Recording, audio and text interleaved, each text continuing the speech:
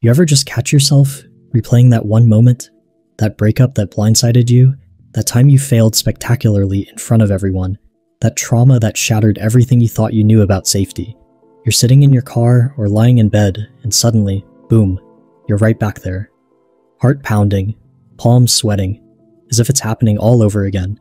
Here's the wild part most people don't realize they're living as prisoners in their own minds, walking around carrying this invisible suitcase of pain, thinking that's just life now. But here's the thing your brain is literally wiring these memories differently than normal memories, and once you understand how that works, you'll never see your past the same way again. Let's talk about something you don't often hear why certain memories cling to you like psychological superglue, while others just fade away naturally. Think about what you had for lunch three Tuesdays ago. Nothing, right? Your brain filed it away as unimportant. But that moment when someone said those cutting words to you five years ago, crystal clear. Every detail. Here's what's actually happening. Your brain has a built-in survival system. When something threatens you, physically or emotionally, it stamps that memory with a giant red never forget label. The idea is to keep you safe by making sure you remember danger. But here's where it gets interesting. This protective mechanism can turn into a prison.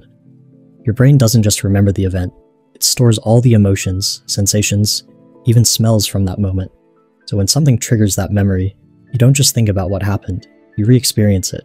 Your nervous system floods with the same fight or flight chemicals as if the threat is happening right now. And that's when something incredible happens. Or rather, something devastating. You start organizing your entire life around avoiding anything that might trigger that memory. You shrink your world. You say no to opportunities. You push people away. All because a part of you is still frozen in that past moment, bracing for it to happen again. Now let me blow your mind with some recent brain research. Scientists put people with PTSD in brain scanners and asked them to recall their traumatic memories. You know what they found? The brain doesn't treat traumatic memories as regular memories, or perhaps even as memories at all. When you recall a normal sad memory, your hippocampus, that's your brain's filing cabinet, lights up like a Christmas tree. It's accessing the memory from the proper folder labeled things that happened in the past. But traumatic memories? The hippocampus barely activates. It's like the memory was never properly filed away. Instead, it exists in this raw, unprocessed state full of emotion and vivid sensory details, but not labeled as something that happened long ago. This is why a flashback feels like time travel. Your brain isn't retrieving a story from the past, it's experiencing a present moment threat that never got properly cataloged as over. Think of it like this. Imagine your mind is like a library. Normal memories are books properly shelved in the autobiography section, but traumatic memories are like loose pages scattered on the floor. No organization, no context just raw information that can blow around and hit you at any moment.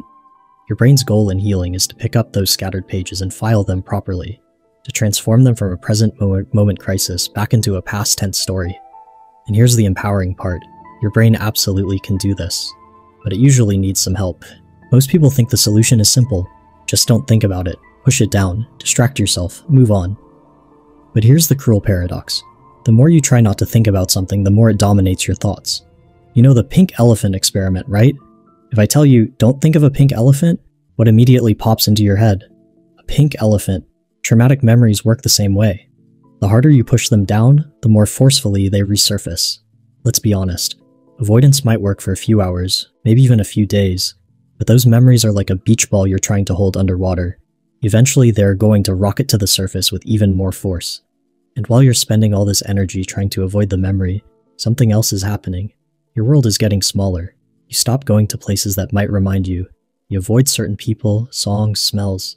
You might even turn to unhealthy coping mechanisms, substances, workaholism, perfectionism, anything to numb the pain. Studies show that people who continually avoid thoughts and reminders of their trauma actually end up with more PTSD and depression symptoms over time, not fewer. Here's what's wild. People who gradually learn to face their painful memories tend to recover their sense of well-being and get their lives back. The only way out is through. So how do you actually get through? Let's start with the most accessible tool, changing the story your brain tells about what happened. Our memories aren't fixed snapshots of truth. Every time you recall a memory, you subtly alter it. Details get added or dropped. Perspectives shift. Memory is more like a story you rewrite in your mind each time you access it. You can harness this natural malleability. Instead of, I'm broken because of what happened to me, what if the story became, I survived something incredibly difficult, which proves I'm stronger than I knew. Instead of, it was all my fault, What if it became, I did the best I could with the information and resources I had at the time? This isn't toxic positivity or pretending trauma didn't hurt. It's about finding a more balanced, realistic narrative that doesn't sentence you to a lifetime of shame. Here's a simple exercise write down the negative belief your traumatic memory has created about you. Then ask yourself would you say this to a friend who went through the same thing? Usually the answer is no. You'd be compassionate. You'd see their strength, not just their wounds. Try extending that same compassion to yourself. Now, this next strategy might sound terrifying, but stay with me, because it's one of the most effective approaches we have. Instead of avoiding the memory, what if you gradually, safely approached it? This is called exposure therapy, and the research is incredible. Success rates for trauma recovery can be as high as 65 to 80% when people learn to face their memories in a controlled, therapeutic environment. Here's how it works you don't just dive into the deep end, you start in the shallow water with a trained lifeguard. Maybe you begin by just writing a few sentences about what happened, or talking about it for five minutes with a therapist. Each time you approach the memory and nothing terrible happens in the present moment, your brain learns a crucial lesson. Remembering this is not actually dangerous. Over time, the physiological alarm bells, the racing heart, the panic, the sweating, start to quiet down. Your brain realizes it can handle the memory without going into full crisis mode. Think of it like exposing yourself to a small amount of a virus to build immunity. You're building psychological immunity to your own memories. Here's where neuroscience gets really fascinating Scientists have discovered that every time you recall a memory, there's a window of opportunity to modify it before your brain stores it again. It's called memory reconsolidation. Think of a memory like a document on your computer. When you double click to open it, you can edit the content. When you hit save, the changes take effect. Here's how you can use this. The next time that painful memory surfaces, don't fight it. Instead, deliberately recall it while simultaneously grounding yourself in safety. Feel your feet on the floor, Notice the temperature of the air on your skin. Look around and name five things you can see. Remind yourself, that was then, this is now. I am safe in this moment. By weaving elements of present moment safety into the memory recall, you're literally updating the file. You're teaching your brain to associate that memory with calm and control rather than terror. With repetition, the memory begins to lose its emotional charge. It transforms from a live wire that shocks you every time you touch it into just information a story that happened to you but no longer defines you. When the past invades your present, one of your best defenses is to anchor yourself firmly in the now. Mindfulness isn't about emptying your mind or achieving some Zen state. It's simpler than that. It's about noticing this is a memory. It's here right now in my awareness, and it will pass. Instead of getting swept away by the mental movie of a past event, you learn to step back and observe it. Like watching clouds pass through the sky. You see them, you acknowledge them, but you don't have to follow them or fight them. Here's a practical technique the 54321 grounding method. When a memory hijacks you, notice 5 things you can see, 4 things you can touch, 3 things you can hear, 2 things you can smell, 1 thing you can taste. This pulls your attention back to your physical environment and reminds your nervous system that you're safe in the present moment. Sometimes the most powerful thing you can do is get the memory out of your head and onto paper. Research shows that writing about traumatic experiences for just 15 to 20 minutes on a few occasions can produce significant improvements in both mental and physical health. How does this work? Writing helps you process and organize the chaotic tangle of emotions and sensations. It's like taking a tornado in your mind and laying it out in neat, manageable sentences. On paper, you can express feelings you might never say out loud rage, grief, terror, guilt without fear of judgment. The page can absorb what your mind has been carrying. You might write a letter to your younger self. You might describe the event in the third person as if it happened to a character in a story. You might just free write your raw feelings.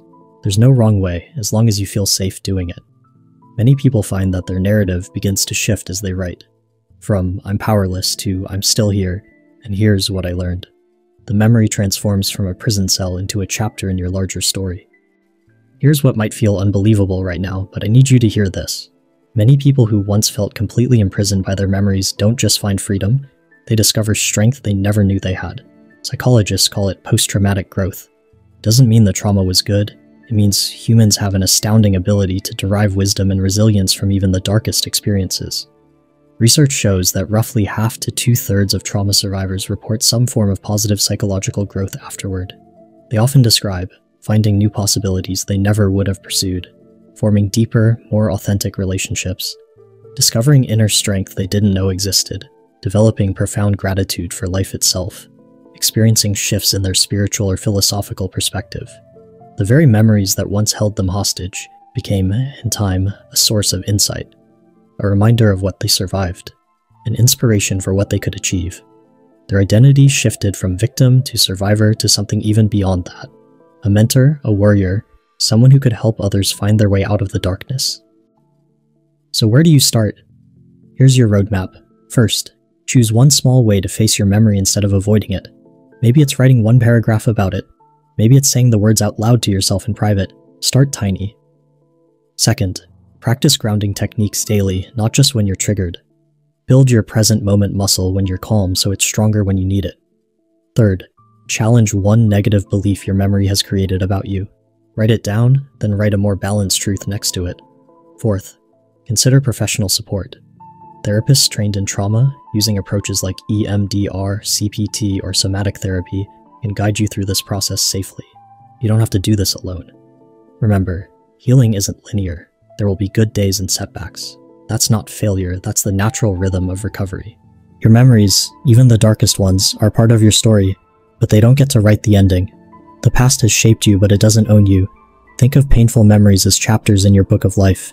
Yes, they've left marks, but the story isn't over. You're not defined by what happened to you, you're defined by how you choose to respond to it. Every time you practice these techniques, every reframe, every mindful breath, every moment you choose courage over avoidance, you're reclaiming a piece of your life from the past. The chains of memory begin to rust and fall away. That heavy suitcase of pain becomes lighter to carry, and one day you might even set it down completely. Imagine a future where the memory that once paralyzed you has become just that a memory, something that happened to the old you, from which the new you has grown wiser and stronger. That future isn't just possible, it's waiting for you. Your life is on the other side of your fear. New memories are waiting to be made memories of freedom, empowerment, and joy. The door is open. It's time to walk through and reclaim your future. If this resonated with you, if you felt this in your chest, not just heard it with your ears, let me know in the comments. Sometimes just acknowledging this is me is the first step toward freedom. You've got this.